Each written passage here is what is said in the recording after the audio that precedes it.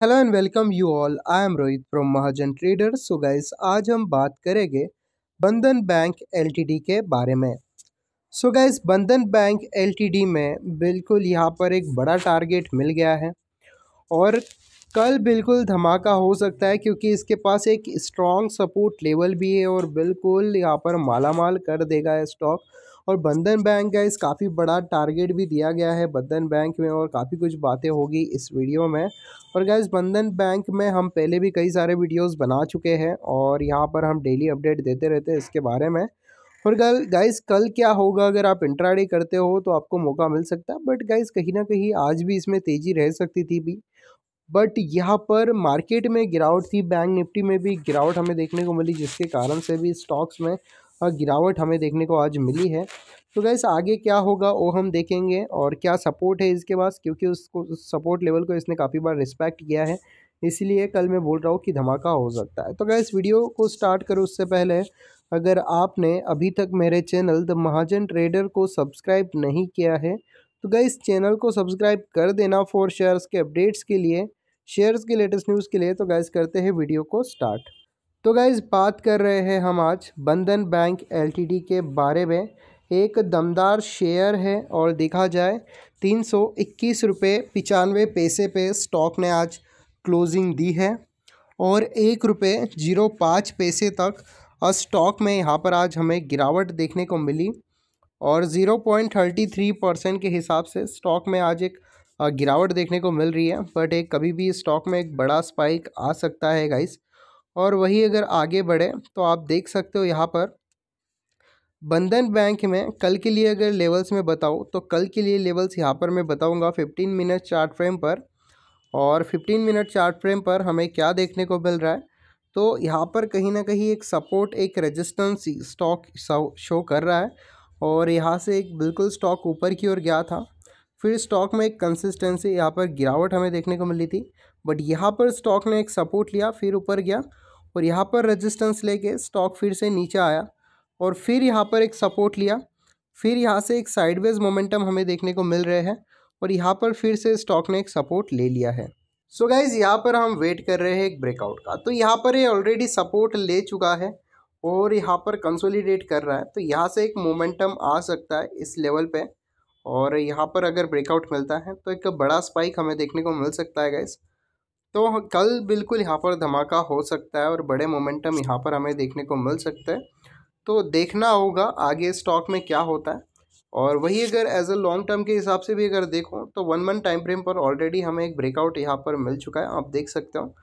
और यहाँ पर अगर देखा जाए तो एक रेजिस्टेंस शो कर रहा है स्टॉक काफ़ी ज़्यादा रेजिस्टेंस शो कर रहा है। और यहाँ पर एक सपोर्ट है स्टॉक में तो यहाँ से बिल्कुल ये ऊपर की ओर जा सकता है। बस हम वेट कर रहे हैं एक ब्रेकआउट का एक परफेक्ट ब्रेकआउट अगर मिल जाता है तो सात सौ तीन रुपये के आसपास का हम टारगेट रख रहे हैं एज ए लॉन्ग टर्म के हिसाब से।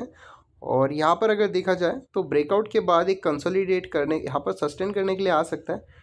तो वही चीज़ मैं यहाँ पर आपको शो करके बता देता हूँ कि एक ब्रेकआउट के बाद यहाँ पर रिटेस्ट करके स्टॉक ऊपर की ओर जाने के लिए रेडी है। सो so, काफ़ी कुछ चीज़ें हैं इस स्टॉक में जो आपको देखनी चाहिए थी जो मैंने आपको बताई है। और वही अगर देखा जाए तो पाँच दिन के टाइम फ्रेम पर स्टॉक में क्या नज़र आ रहा है?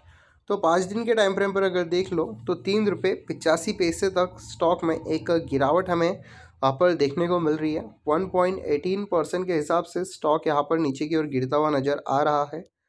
वही अगर देखा जाए तो स्टॉक एक महीने में छब्बीस रुपये सत्तर पैसे तक एक बढ़त हमें देखने को मिल जाएगी। Nine point zero four percent के हिसाब से स्टॉक बिल्कुल ऊपर की ओर जाता हुआ नज़र आ जाएगा।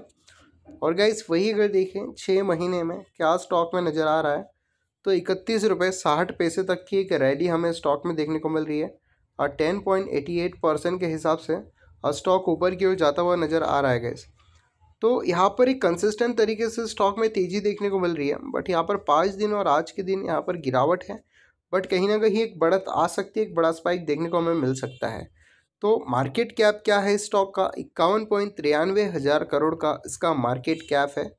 और मार्केट कैप के हिसाब से एक चीज़ क्लियर हो जाती है कि ये स्टॉक मिड कैप स्टॉक की कैटेगरी में आता है।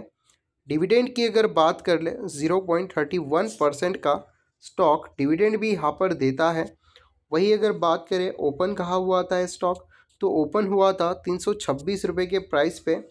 और वही अगर देखें, दो सौ तीन सौ सत्ताईस रुपये पचास पैसे का यहाँ पर स्टॉक ने आज हाई भी लगाया और दो, तीन सौ बीस रुपये अस्सी पैसे का लो भी लगाया है।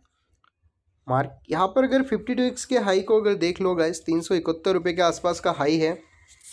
और लो अगर देखा जाए, दो सौ उनतीस रुपये पचपन पैसे का लो आपको देखने को मिल जाएगा। सो यहाँ पर आप एडलवीज ने एक फॉर्म है एडलवीज करके तो उन्होंने एक टारगेट यहाँ पर दिया है बंधन बैंक के लिए। तीन सौ अड़तालीस रुपये का टारगेट यहाँ पर उनकी ओर से दिया जा रहा है। बंधन बैंक में तो एक बड़ी बात है और बिल्कुल यहाँ पर जा सकता है। हमारा टारगेट तो काफ़ी बड़ा है बट यहाँ पर डलवेज ने भी दिया है तो कंफर्मेशन हो जाता है कि स्टॉक बढ़ेगा बढ़ेगा।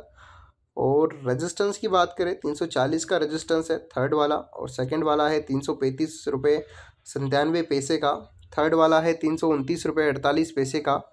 सपोर्ट लेवल्स में तीन सौ आठ रुपये ज़ीरो आठ पैसे का फ़र्स्ट सपोर्ट लेवल है। सेकंड सपोर्ट लेवल तीन सौ चौदह रुपये सत्तावन पैसे का है और थर्ड है, यहाँ पर सॉरी गाइस फ़र्स्ट वाला है तीन सौ अठारह रुपये अठहत्तर पैसे का। सो गाइस यहाँ पर रेजिस्टेंस और सपोर्ट लेवल तो हमने देख लिए हैं। प्राइस परफॉर्मेंस कभी यहाँ पर गिरा भी है और यहाँ पर बड़ा भी है। वन वीक का यहाँ पर ज़ीरो पॉइंट सिक्सटीन परसेंट यहाँ पर प्लस में है। वन मंथ का six point eighty nine percent plus में है।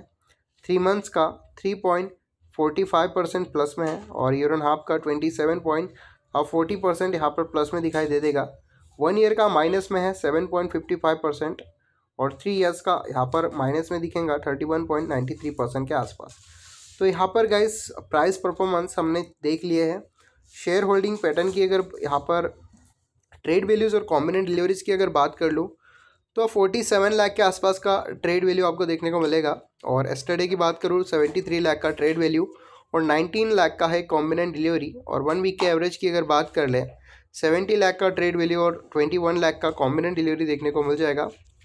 वही अगर बात करें वन मंथ के टाइम फ्रेम पर तो नाइन्टी सेवन लाख का trade value twenty eight lakh का है कॉम्बिनेंट डिलीवरी यहाँ पर कम्युनिटी सेंटिमेंट्स के आंकड़े बिल्कुल यहाँ पर हंड्रेड परसेंट बाइंग के हैं। और रेवेन्यूज़ की बात कर लें रेवेन्यूज़ अच्छे खासे बड़े हैं अच्छा खासा इंप्रूवमेंट है रेवेन्यू में। 2021 की बात कर लूँ तो बारह हज़ार पाँच सौ चौबीस करोड़ का रेवेन्यू है। 2020 में दस हज़ार आठ सौ पिचासी करोड़ का रेवेन्यू है। 2019 में छः हज़ार छः सौ तिरतालीस करोड़ 2017-18 में भी अच्छा रेवेन्यू गेन किया है। और नेट प्रॉफिट यहाँ पर 2017 से 20 तक अच्छा बढ़ा बट 2021 में डाउन गया है। 2205 करोड़ और वही अगर देखें शेयर होल्डिंग पैटर्न 39.99 परसेंट की होल्डिंग प्रमोटर्स की है। एफ़ की होल्डिंग 34.6 परसेंट की है डी की है one point ninety three percent की होल्डिंग पब्लिक होल्डिंग है 23.47 परसेंट और अदर्स की बात की जाए 0.01 परसेंट की होल्डिंग उनकी देखने को मिल जाएगी।